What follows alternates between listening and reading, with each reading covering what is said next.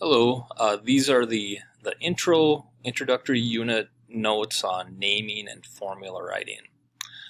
So uh, with this we want to start with an introduction to the periodic table and learn a little bit about that or review that. So um, you want to grab your periodic table and we'll mark it up here a little bit. Now um, don't worry about writing all over your periodic table. You can always print off a new copy or pick up a pick up a new copy in class. But we'll start with metals and nonmetals. So most of the elements on the periodic table are considered metals. So uh, we'll talk about what it means to be a metal later on or, or non-metal. So we'll, we'll get that. But uh, right now, you just want to separate that too. So there's a there's what's called a stair step line on on that shows up on a lot of periodic tables. It doesn't show up on yours, but um, you want, probably want to go ahead and draw this in. So we start up here in the uh, top left corner of boron, and then you go down and to the right, and that's our stair step line until we get to the bottom right here.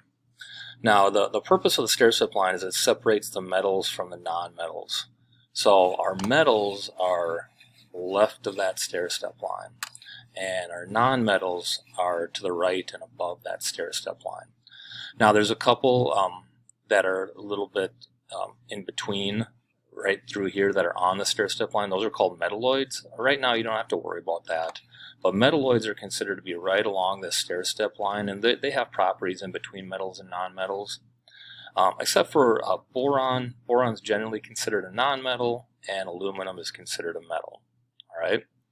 But again, right, you want to draw this stuff on your periodic table because you can always get another copy. All right, uh, next thing, there's a few groups uh, that you should know there uh, that have special names. All right, so let's start over here. Uh, groups are columns, vertical columns on the periodic table. So this first group right here is called the alkali metals, uh, except for helium. Helium is not part of the alkali metals, even though it's in that column. But lithium on down, those are considered alkali metals. The second column, right here, those are called alkaline earth metals. All right. Now we go all the way over to this column right here. Those are called the halogens. Right here. And this last column right here, these are called the noble gases or inert gases uh, because they tend not to interact with the other elements. They don't. They're they're mostly non-reactive. Okay, and then there's a couple more things in uh, this middle section right here that's a little bit lower. Uh, these are called the transition metals. And these two rows that are pulled out of the periodic table and separated on the bottom, those are called the inner transition metals. And you see like right in here, like this uh, little star right there, asterisk right there. Um, that's where that lanthanide series go. And in this uh, cross right there, that's where the actinide series goes. So the inner transition metals are just pulled out and separated really so that it just fits nicely onto a sheet of paper.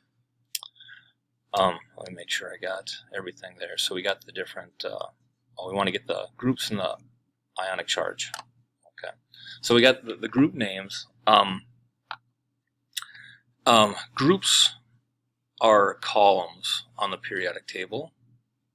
All right. Periods are rows on the periodic table. Okay, so periods are these horizontal rows. Groups are the vertical columns. Okay. Now, in terms of what's more important, um, groups tend to be more important. So if you're asked, like, which elements are most similar to calcium, you would look right above it and right below it. You'd go magnesium and strontium, um, not not uh, potassium and scandium. So the the groups tend to have similar chemical and physical properties, right? Uh, then the last thing with this is uh, ionic charges, as in what charges do they tend to form. And, and this goes into their electron structure, which we'll talk about later. Um, and they want to get to the octet rule, but for now, you just want to know the charges that these uh, elements will tend to form. So we'll start here with the alkaline metals. They tend to form plus one ions. Alkaline earth metals, they tend to form plus two ions. The transition metals in here do some different things because uh, they, they have a different uh, arrangement of electrons, but there are two elements in here that always have the same charge, and you want to know that. Zinc right here is always positive 2, and silver right here is always positive 1. You want to know those two. And then uh, aluminum is always a plus 3. The, the elements in the, the carbon group right here, um, they tend to share electrons more than, than gain or lose them. Uh, tin and lead down here are a little bit different. They're a special case, but don't worry about charges for this group. Um, this group right here, nitrogen, phosphorus, uh, they tend to form negative 3 ions. This group tends to form negative 3 ions. This group tends to form negative 2 ions. The halogen forms negative 1 ions. And then the noble gases, they don't, they don't produce ions. They, they tend to stay just how they are. All right, so you want to know the, the names of those groups and you want to know the ionic charge that those uh, elements in those groups will tend to form. The uh, inner transition metals, don't worry about uh, charges on those. And really, to be honest, we really don't do a whole lot with inner transition metals. Okay, so right now we're working on naming these things. Uh, so the first type, there's, there's a few different types. The first one is called binary ionic compound. So binary means that there's two things. Um, ionic means that there's going to be a positive ion and a negative ion. So if we go back to the periodic table, the, uh, the metals tend to form positive ions and the nonmetals tend to form negative ions. So if we go back here, this binary ionic compound is going to be between a metal and a nonmetal. Right, so the first rule is the cation. Cation is another name for a positive ion. That's always named first, and the anion, or the negative ion, is always named second. And then the next rule is a monatomic cation takes its name from the name of the element. So the sodium ion is just called sodium. You don't change anything. But a monatomic anion is named by taking the root of the element name and adding "-ide". So negative ions have an "-ide" ending. So the chlorine ion is called chloride. All right, so now we want to do a little bit of practice down here.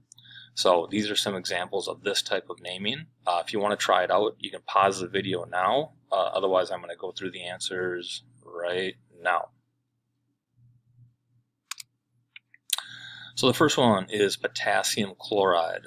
So K is potassium. We don't change the ending of the first one, but chlorine becomes chloride, so potassium chloride. The second one is calcium bromide.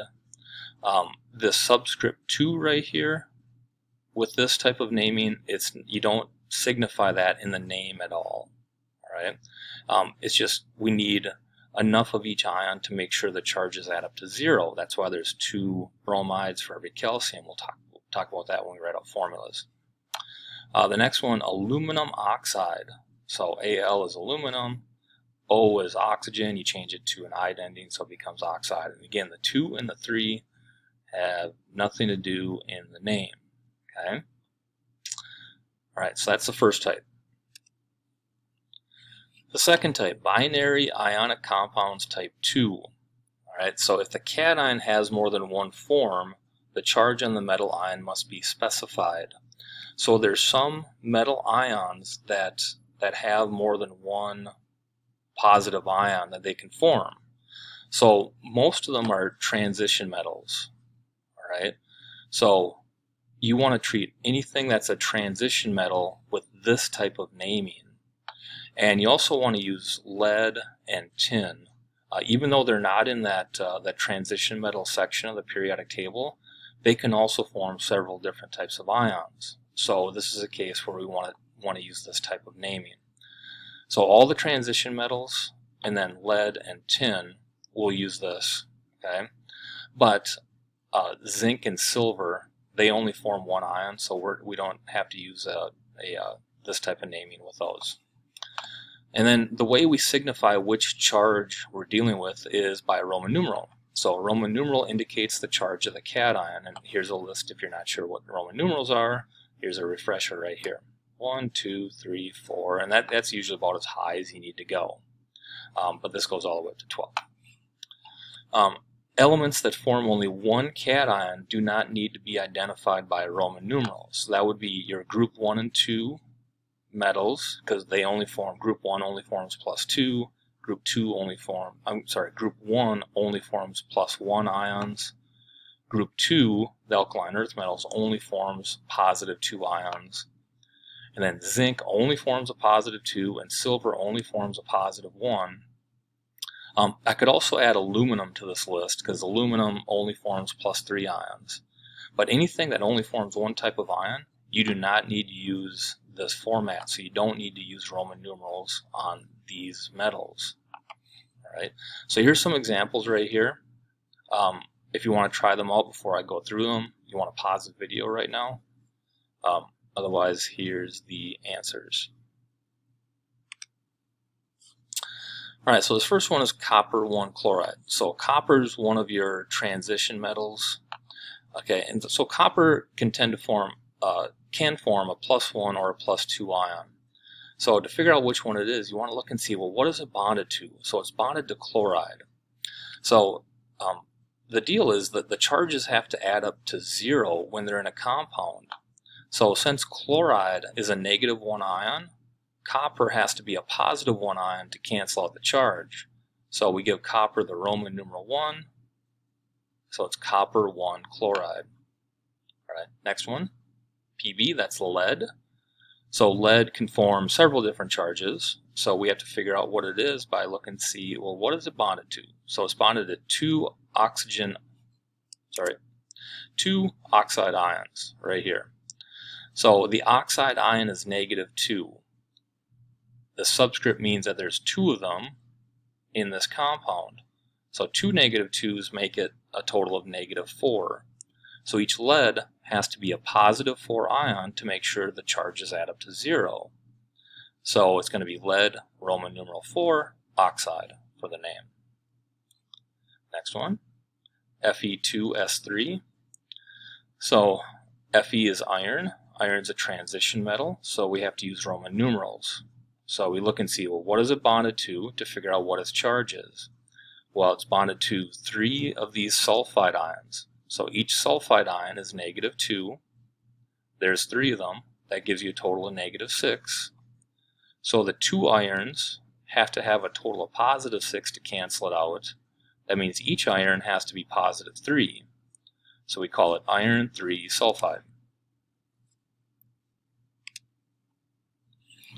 Next, um, now you have ionic compounds with polyatomic ions. So polyatomic ions are assigned special names that must be memorized to name the compounds containing them.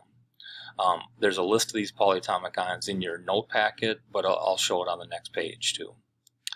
Um, a lot of them are oxyanions. And then oxyanions are just a, a negative ion with oxygen in them.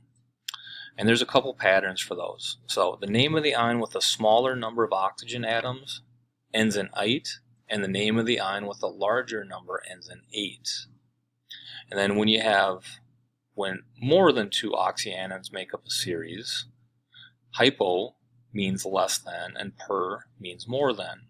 Those are used as prefixes to name the members of the series with the fewest and the most oxygen atoms respectively.